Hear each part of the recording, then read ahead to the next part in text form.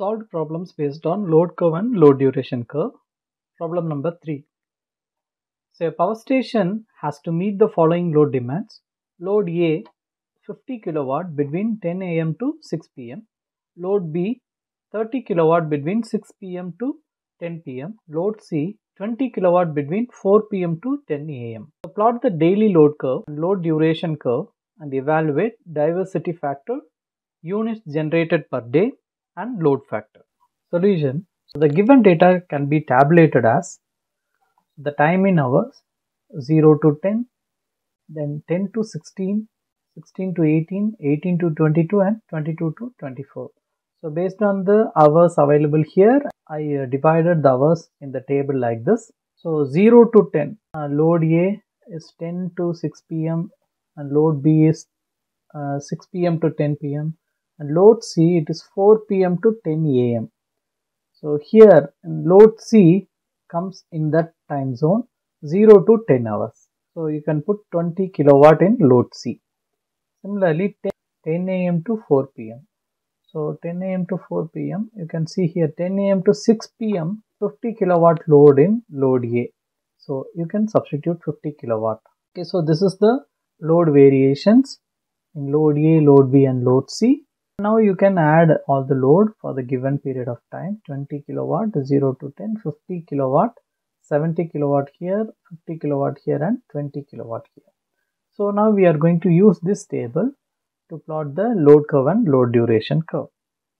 So to plot the load curve 0 to 10 it is 20 kilowatt. Then 10 to 16 it is 50 kilowatt. And 16 to 18 70 kilowatt then 18 to 22 is 50 kilowatt then 22 to 24 it is 20 kilowatt. So from this total load on a power station you can plot the load curve. And from this load curve you can plot the load duration curve as well. So take the maximum value it is 70 kilowatt then second maximum is 50 kilowatt third one is 20 kilowatt. So based on the hours you are going to arrange this load in descending order okay here is the load duration curve. So 70 kilowatt is for 2 hours and 50 kilowatt is for 10 hours. So 50 kilowatt comes here 10 to 16 as well as 18 to 22 so for 10 hours and 20 kilowatt is for 12 hours. So 20 kilowatt here so 0 to 10 and here it is 22 to 24 so this is how you need to draw the load duration curve so from the load curve, it is observed that the maximum demand on the power station is 70 kilowatt. Second one, find the diversity factor. So you can apply this formula diversity factor equal to sum of individual maximum demand divided by maximum demand on power station. So sum of individual maximum demand of groups. So for load A, the maximum demand will be 50 kilowatt.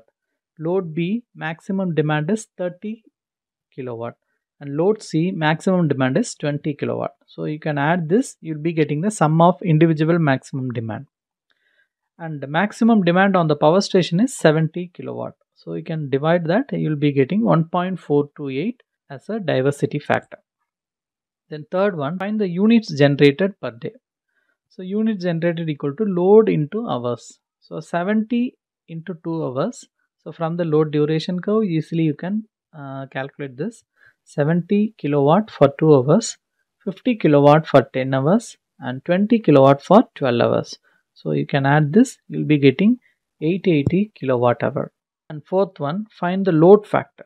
Load factor equal to average load divided by maximum demand. So average load is number of units generated in a day divided by number of hours in a day that is 24 hours. So units generated is 880 kilowatt divided by 24 that gives you 36.66 kilowatt. And maximum demand we know that is 70 kilowatt. So divide that you'll be getting 0.5238 or 52.38 percentage. That is your load factor